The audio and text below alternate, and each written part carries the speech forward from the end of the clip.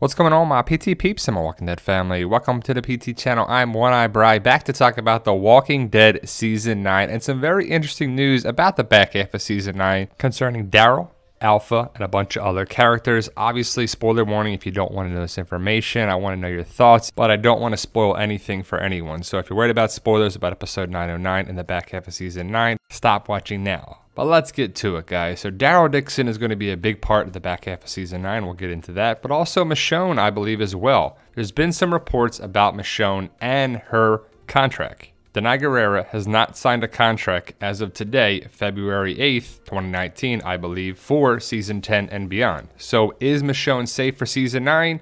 I believe so, because if she died in season 9, we wouldn't be talking about season 10 because she would be gone. So I hope Michonne at least signs a one year deal for season 10 and then they figure out what to do. But there has been some reports that they have a backup plan if she signs or not.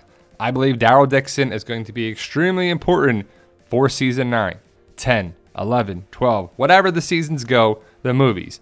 Daryl Dixon is going to be the main character, if not one of the two, maybe three main characters. So when in doubt, give it to Daryl, right? Daryl Dixon and Carol are important for the show. Melissa McBride, who plays Carol, and Norman Reedus, who plays Daryl, have signed a reported three year deal to be in the Walking Dead movies and the show still. But how much money is coming from this contract? There's been a report that the deal for Melissa McBride could be three years for 20 million, and Norman Reedus, who plays Daryl Dixon, could be anywhere from 50 to 70 to 90 million dollars over the three years. So where does that leave Michonne and Danai Gurira? We don't know.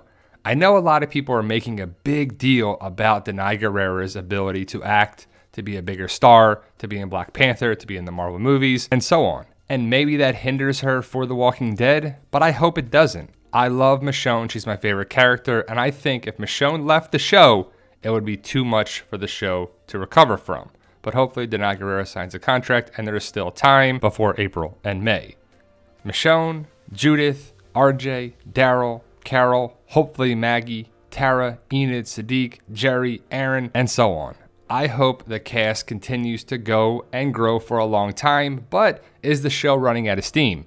I think Judith is the future of the show. A lot of the cast members right here can hopefully be on the show for a long time. We'll see who makes it out of season 9, season 10, and so forth. And if you saw the previous videos, you're like, I know all this information already. Well, relax. The recent report is that Daryl Dixon, Norman Reedus, talked about the back half of season 9 and that we're going to see Daryl a lot. And obviously, right?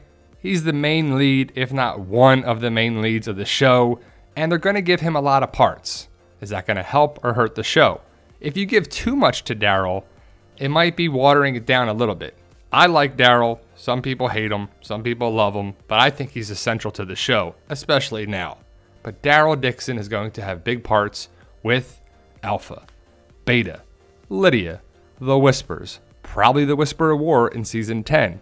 Is it too much? Is it too much Daryl? Is there such a thing as too much Daryl? If Daryl dies, we riot, right? Well, Daryl's not going to be going anywhere. Daryl's going to fight Beta. Daryl's going to meet Alpha. Daryl's going to interact with Lydia. Daryl's going to do this. Daryl's going to do that. When in doubt, give it to Daryl. So if Daryl's doing a lot, and if he's going to be the main star, he's got to deserve a big payday, right? Fair market value shows that the big star of a huge show should get paid the most money. But is Daryl more important than Michonne and Carol? I say yes and no at the same time. If they give all the parts to Daryl, then they're clearly making him the most important character. We've seen it every season so far, Daryl's had a big role, and it's going to continue on. And I'm okay with that, but I would love to see Carol interact with Alpha and Michonne interact with Alpha. I would love to see Carol interact with Negan. We still haven't seen certain things like that. And we're going to get to Negan in a second. Don't worry about that. But Daryl is going to fight Beta. Is Daryl going to lose his knives to Beta too? Because we have yet to see Beta's huge knives. I don't know if they're just hunting knives or if they're machetes or what they are, but we haven't seen them, right? It could be the introduction of how he gets those weapons. As for Alpha, we're going to see Alpha interact with Daryl per Norman Reedus. Norman Reedus said that in a recent interview, and of course they are, right? Because Maggie and Rick are the ones who interact with Alpha, and they're not there. They're not going to be there. We're not going to see them interact with Alpha this season, and probably ever. I would still love to see Maggie come and rescue the group in season 10. It still could happen, and I hope it does. Daryl's going to be involved with Hilltop. Daryl's going to be involved with Henry. And like I asked before, is it too much? Is it too much Daryl? Daryl hasn't had the most dialogue, and now he's going to have all this dialogue, I guess, right? But the big knock on Daryl is that he doesn't shower or bathe. He doesn't have much dialogue. He does bad decisions. He acts out of impulse, and his decisions have bad consequences for other people. Hopefully that's done. We're not going to see that anymore because I'm tired of when a good character makes a bad decision and it hurts another person, not even themselves, but another person. Daryl's clearly going to be impacted by the flashbacks. We're going to see him connected with the X scars. How did he get it? How did Michonne get it? Did they get it at the same time? We're going to get more than one flashback. I can't wait to find out. All these questions are going to be answered hopefully in the back half of season 9. I'm very excited for the back half of season 9, season 10, and the movies. A good time to be a Walking Dead fan, and hopefully you and or your loved ones haven't given up on the show. But if you're probably watching this video, you probably haven't given up on the show. But what do you think of the Henry, Carol, Daryl dynamic? Is Daryl the best role model for Henry? Is Daryl's actions going to hurt Henry, or vice versa? Is Henry going to do something that hurts Daryl? I can't wait to find out. The other question I want to ask is Do you think Negan is the new Rick? We're going to have Regan, the new version of Rick, Rick 2.0, Negan running Alexandria. Because Negan is clearly dressed like Rick here. He's kind of got the beard, he's losing a little more hair than Rick, but you see this side by side that we're going to see in episode 909, they look pretty similar. Also, Negan's going to go to the sanctuary, and he's going to find nothing there for him.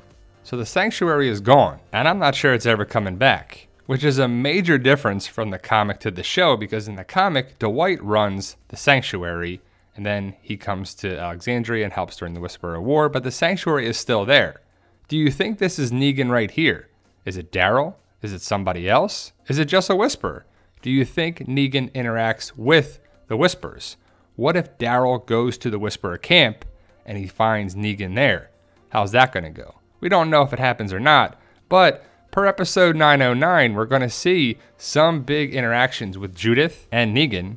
Negan escapes Alexandria, but I believe he goes back to Alexandria. Does he go back in his cell? Because, like I said, there's nothing there outside of Alexandria for Negan anymore. So, what's he going to do? Is he going to eventually run Alexandria with Michonne, or at least help out?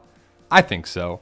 I initially thought that Negan will save Daryl, but if he's locked in his cell in Alexandria, if he stays in Alexandria and Daryl's in some building somewhere fighting Beta, how can Negan help him? I guess it doesn't happen. As for the saviors, you see DJ, Laura, and Jimmy at Alexandria. Negan's also at Alexandria.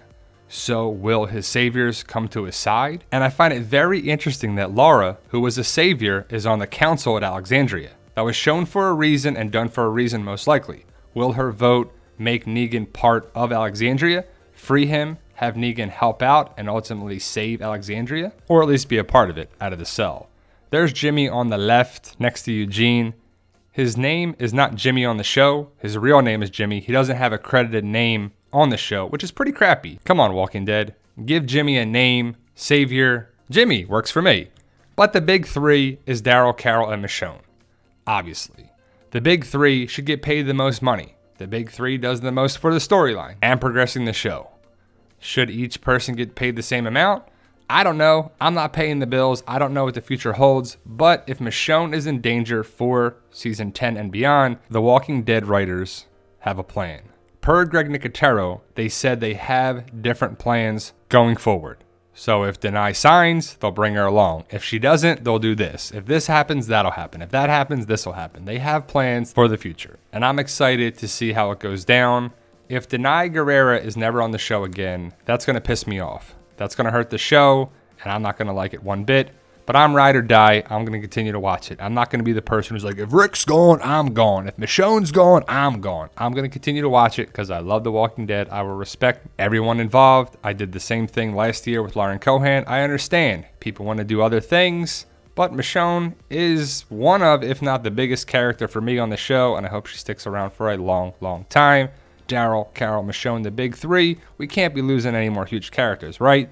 Let me know your thoughts. Post your comments below. Like, share, subscribe. Please hit the subscribe button, hit the bell to get notifications to help us achieve our goal of 100 thousand subscribers. And I have a book update, guys. Book nine right there is available on Amazon.com. It's $10.99 for paperback and $3.99 for Kindle. There's my eight books before that. Fight for Us. I'm excited. Hopefully you're excited and you'll check out the series. It's not a carbon copy of The Walking Dead. There's a lot of differences in it and a lot of people enjoy it. And remember guys, with hard work, dedication, belief, and sacrifice, you can truly achieve your goals. Believe in yourself. You can do it. It's about love, support, staying positive, making memories, and tell them, Daryl. Yo, we love you guys. Honestly, thank you.